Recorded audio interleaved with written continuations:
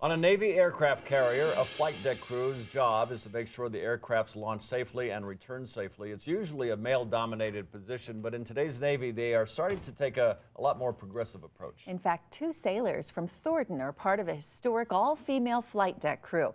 We sent our producer, Paul Harris, on a special assignment to San Diego aboard the USS Theodore Roosevelt to bring you their story.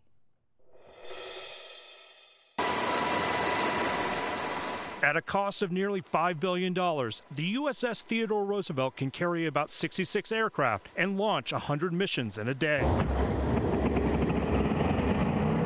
Before a single aircraft can take off, they have to get a green light from the flight deck crew. That's where Thornton natives Petty Officer 2nd Class Esperanza Romero and Petty Officer 3rd Class Demarius Hernandez come in.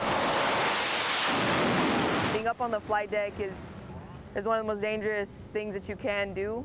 It's Romero and Hernandez's job to make sure the aircraft is in sync with the catapult system.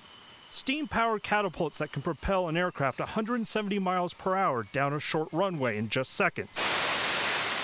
They also have the option to abort a launch, a job that is taken very seriously by flight crew and pilots. You are uh, putting your life in everybody's hands that are on the deck and below the deck. The uh, you know female, male, it doesn't matter as long as they're qualified to do their job. Romero Hernandez and their fellow female sailors decided to prove a point and asked to form an all-female flight deck crew.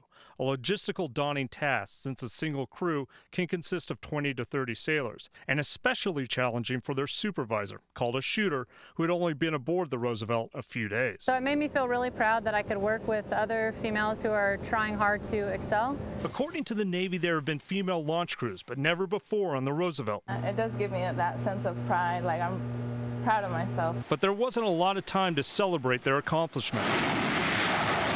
On their last deployment, the USS Teddy Roosevelt wasn't off the coast of the Bahamas. They were actually in the Middle East, specifically near Bahrain, so they could conduct missions in Iraq, Syria, and Afghanistan. And we're the first uh, carrier to do simultaneous strikes in Afghanistan and Iraq on the same day. After a thousand missions flown and seven months at sea, the sailors have a chance to reflect on what they achieved. I feel kind of accomplished that I was able to participate in something to help my younger sailors do something that they may not have another chance to do. Romero and Hernandez are now back in their home port of San Diego and focusing on maintenance of the carrier.